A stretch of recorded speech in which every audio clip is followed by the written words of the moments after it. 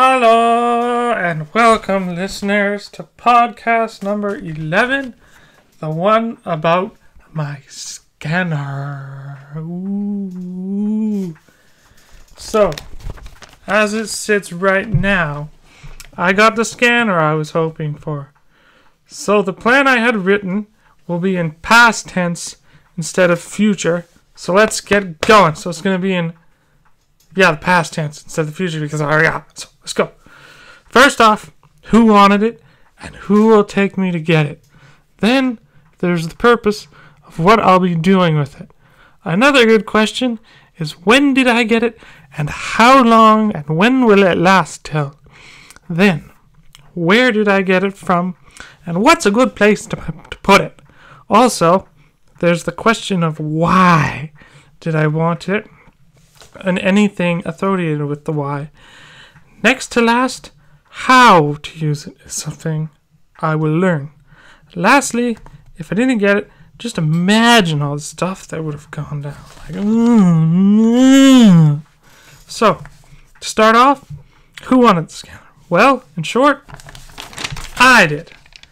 And just me, because, but more importantly, who would take me to go and get it? Because it was from Staples. And that's quite a walk from the LRT station I usually go to. You see, it's next to the Home Depot, which in itself is quite a walk. So I thought Dad could take me, but nah, because Staples is right next to Home Depot, which is just 10 minutes. So I walked there. And it only took me another 5 minutes, which is 15 minutes, to get there. And that's who took me there. Another good question I had about the scanner is what will it be used for? Well, I'll tell you. It is used for taking my drawings and putting them on the computer like this. Well, this is the process. You put a piece of paper into it, and then you push the button. Then the scanner pulls the paper in, and it goes over it. Then it takes what it sees and puts that on the computer. So that you can then edit or do whatever you need to do to it on the computer. And that there is what I need it for. Also, there's the question of when did I get it? I got it on May 9th, 2019. Or in other terms, I got it on my brother's birthday. Yes, it was his birthday. And I got myself something instead of getting something for him. But that's for another day. So, anyways, like I was saying, I got it on May 9th, and that will never be a day I'll forget because I made a significant improvement in my life. Until then, I was busting my balls trying to get that printer we already have. Then I thought, nah, I'll just go get a scanner. And I got it. From then on, it was like, yeah, I got a scanner, no more screwing around with the freaking printer. Just scan right here and now and it happy. Last thing I'd like to say about that day when I got it is it was my first time ever going to Staples, which I thought would have been much further than a walk than it was. And the whole train ride up there, I was like, oh no, what a long walk. But no, it wasn't. And I gained a whole lot of confidence because I learned something new.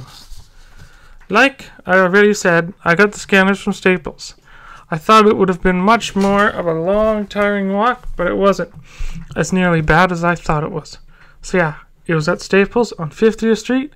I thought the staff there was really nice and what they needed to do to make me happy.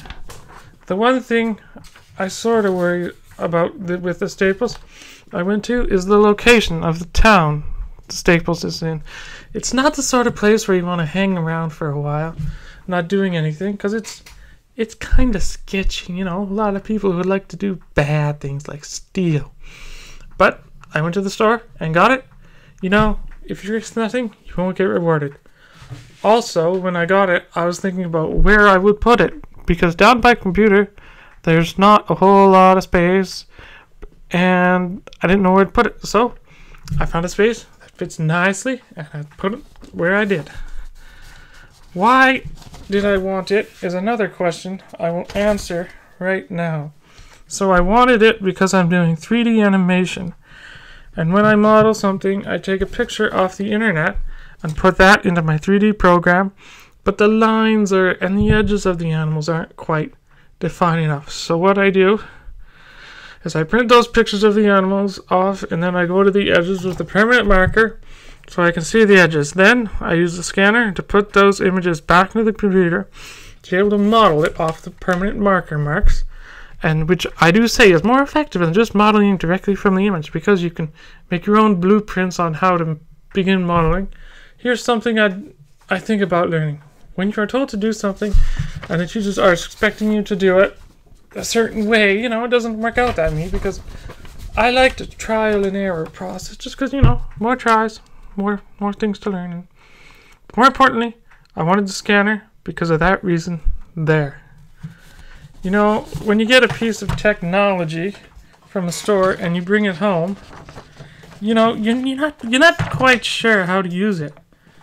So, do you ever think to look at the instructions before using it? Because sometimes there may be a very crucial step that you may need to know before or how to use it because something to do. Hang on, I need I need a I need a So yeah, like I was saying, you know when you get a piece of technology from the store and you bring it home and you're like, "Ooh, how do I use it?" Do you ever think to look at the instructions before using it? Because sometimes there may be a very crucial step that you may need to know in order to make it properly. In case of the scanner, when I opened it, it was like has one button, and I thought just plug it in and push the button.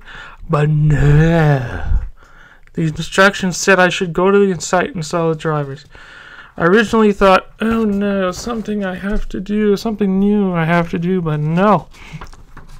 I downloaded the drivers, and they told me a step-by-step instruction on how to do and what to do because in the instructions there was only two or three steps, and on the drivers there was like 10 or 15, which made it so much easier.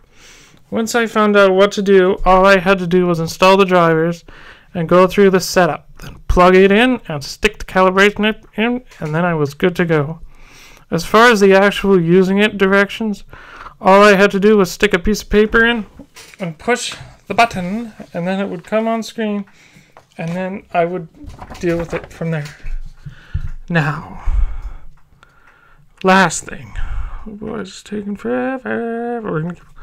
The feeling of regret is not something anyone wants to have, but sometimes you do. In the case of the scanner, if I did not give it get I if I did not get the scanner, I would be all full of regret, and you know it wouldn't be happy. But you know that's something you gotta learn. Like this fellow here, I did not have it. If I if if I didn't have it, I would have just come home and been like, oh no, it would have been one of those days where you come home and you're like, oh, I wish I would have done it and it would have given me, but I got it. So yeah, if I didn't get it, I know this one isn't as long. That's just because I'm getting bored and shouldn't be taking this long. But anyhow, back to the point. If I didn't get it that day, I would have felt so much regret, and I'm glad I got it. And that's it for today. See you later.